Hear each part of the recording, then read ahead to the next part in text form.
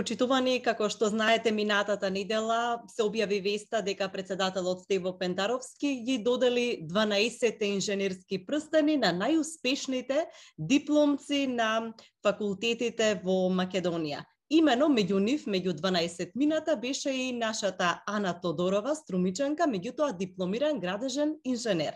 Ана, честитки пред се за наградата.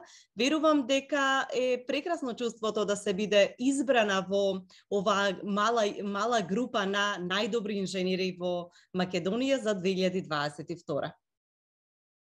Ви благодарам и ви благодарам за поканата. Така.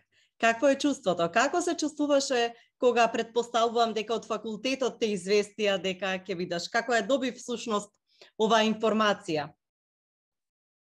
Вака сега од е еуфоријата е спласната и е поднамалена возбудата, ја сваќам всушност големината на ово признание, секако почеста која што ми е откажена, а уште поголема врската со која што треба да се оправда. А, најпрви ме извести од градежен факултет со самото поднесување на документите, свесни за досегашниот успех, така да најпрви ја добив информацијата од градеж. Така, значи предходно беше подготвена, знаеше дека влегуваш во оваа така наречена трка. Mm Како реагираат твоите? Срекни ли беа твоите пред се мислам на факултетот, меѓутоа и на твоето семејство? Какви се реакциите?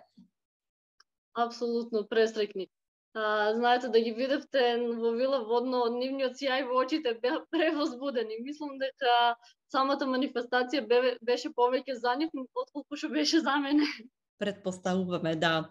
А Ана, како ја одбра оваа професија? Верувам дека деновиве ова прашање честопати да го поставувале, меѓутоа, а, дали станува збор за некоја љубов која што со години може би се ја негувала кон градежништвото или низ годините на образование се оформи како идеја, како а, желба што би сакала да студираш?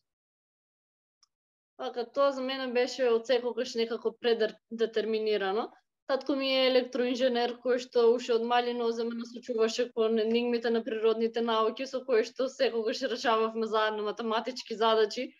Сестра ми е магистриран архитект и некако впуштање во градежништвото изгледаше како некоја логична след, логичен следен чекор за мене.